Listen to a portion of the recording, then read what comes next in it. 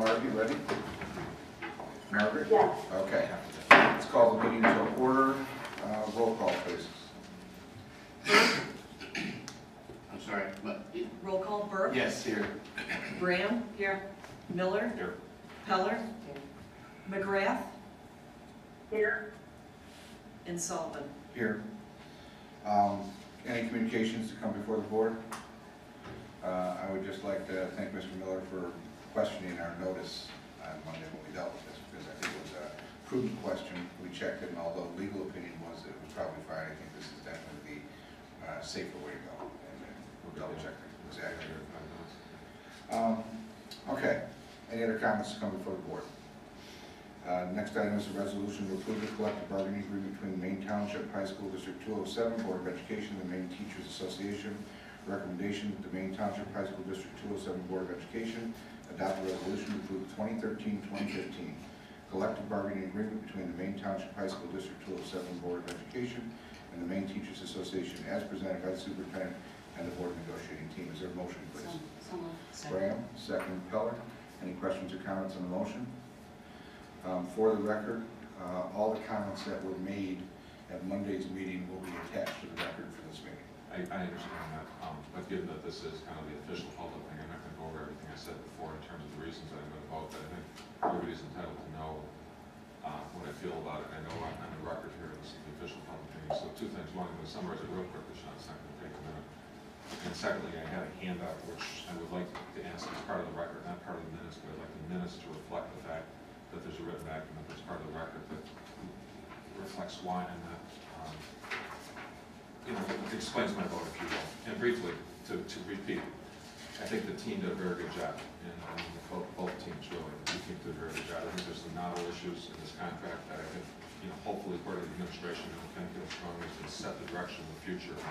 So we didn't get everything that perhaps we could have gotten on this occasion. His view is that, you know, the direction is set to, in- in the future. And so my view is that I, as I said at the last meeting, I think the contract is rich. Um, I did the math, I mean, the increases are up to eight percent. Uh, Mary, if she were here, would say more like six percent. Um, salary increase over the, over the terms of the contract, um, which is a step in the right direction, but given, and, you know, I don't have to look for these things, people. This, this one, this one came yesterday. Illinois foreclosures rise twenty-nine percent tonight. It's, You know, I, I don't have to research this every day. It's the same thing. Um, That happened to be yesterday's, um, Chicago Real Estate Daily.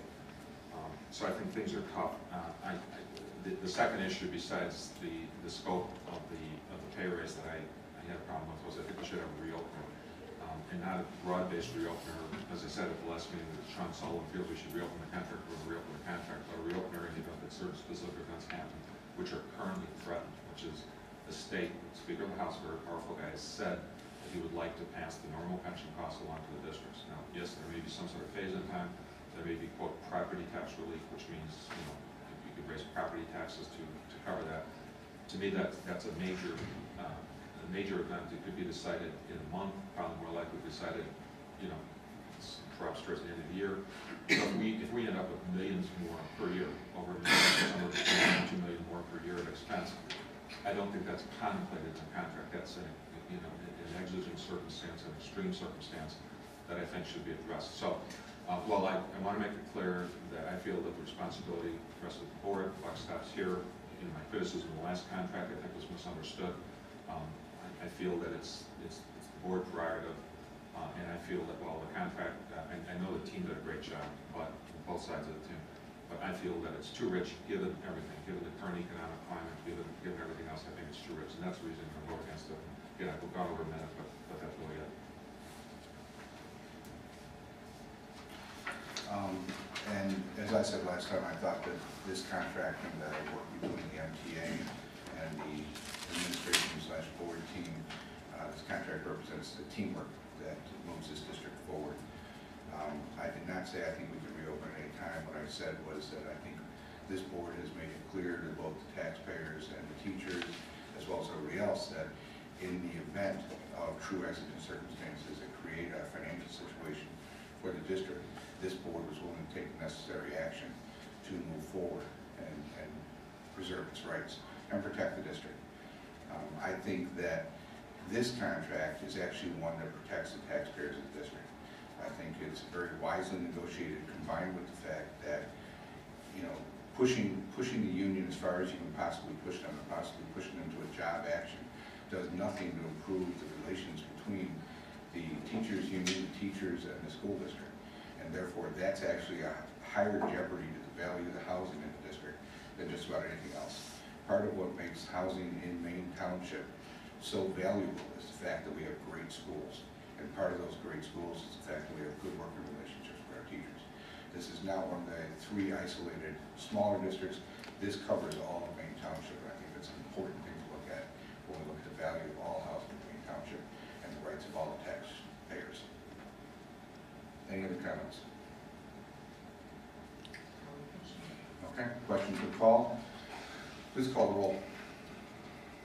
McGrath, Aye. Berg, Yes. Graham, Yes. Peller, Yes. Miller, No, Lay, uh, Sullivan. Aye.